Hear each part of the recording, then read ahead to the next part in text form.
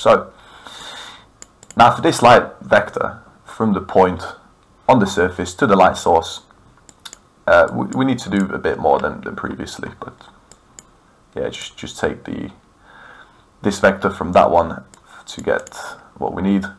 Obviously we need the length of this vector, the distance from the light source to the surface using this nice little function. Uh, obviously if the light source is too far away from the surface, it's not going to affect the, the, the colour, so we can just return nothing. Good day, this is all done. This is all defined in the light struct. Obviously we've got the fall off start, the fall off end. After this point, the light does not affect anything because it doesn't reach that far normalize it because we are working with unit vectors. Yeah, so when we calculate the attenuation, uh, we pretty much need two values which we'll use to make a fraction. First of all, we take the distance away from the fall-off end. Got a nice graph here which will get us this distance. And then we also take off the fall-off start from the fall-off end to get the fall-off range, which is, is this one. Uh, we divide this one by this one. Obviously, if, if the, the point on the surface, which represents here, obviously this is the, the light source, fall off start, fall off end. The closer it is to the surface, the fall off start, or the light source, the, the larger this fraction will be. So if this was the distance, the fraction would just be 1. The closer it is to the end, the smaller the fraction will be. Obviously this is like, well, let's say 1 unit, this is 9 units. If you divide 1 by 9, you get 1 over 9. Obviously, if it's outside, then we, we, we don't care about it because it's the, the light's not affecting it. And that's attenuation. In real life, it doesn't work like that because light falls off according to the inverse square law, but over here we're just working with linear fall off. In the spotlight, now we need to know, this is more like a, a torch, like a cone. So the, the further away you are from the center of the this, this cone that the, the light makes, the more the, the less intense the light is going to be.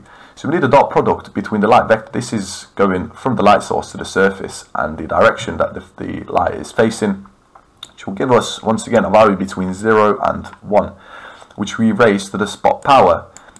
If they are facing the same way, so if, if this angle is 0, you are going to get 1 from the dot product. If you raise that to the power of 64, you're just going to get 1, so the light strength will not be affected. However, the greater this angle is, the smaller the fraction we're going to get. So once you raise that to the power of 64, you're going to get a minuscule number, so the light strength will be greatly affected. This is where the lights are created. They are given direction and strength in the RGB values. By default, this is what it looks like. Mm, nothing too bad. Uh, let me just change one of the lights. Uh, I'm just going to make them a lot more strong. Uh, so they're all nines. Whoa, this is blinding. So obviously this creates a lot brighter scene. Uh, however, if, if the values are not all the same, then we can change the color as well of the light. Obviously, if we get more red, not a lot of green, and, and just a little bit of blue, we get um, it's nice pink light. Lights up the skeleton like this. And if we set all the light strengths to zero, you get no light. You just get the ambient color of the uh, objects in the scene. Until now what I've demonstrated was only using directional lights which of course don't take into account a lot of the parameters that are defined in um, the uh, shaders. However, I've created a scene which uses five lights in total, two directional lights, two point lights and one spotlight. I created this day and night cycle with the two directional lights, one for the sun and then one for the moon.